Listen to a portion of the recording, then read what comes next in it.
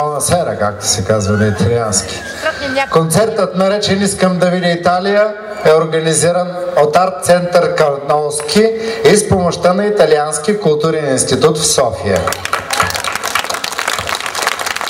Аз ще бъда водещия, казвам се Енчо Данаилов и искам да кажа специални благодарности към директора на института, господин Енцо Бераро, който оказа незаменимо подкрепа и не даде възможността да бъдем част от италианската магия на фестивала Италия тук. Ще ни радват децата от най-голямата вокална студия на България. Вокална студия Европа.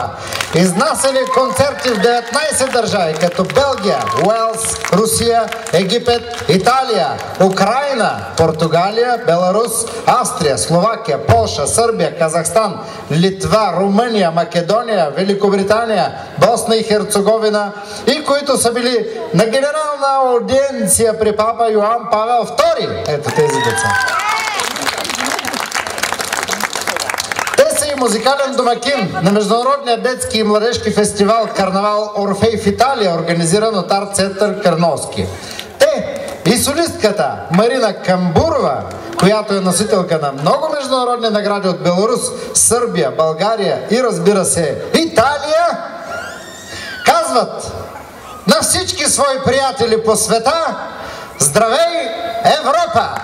Чао, Европа!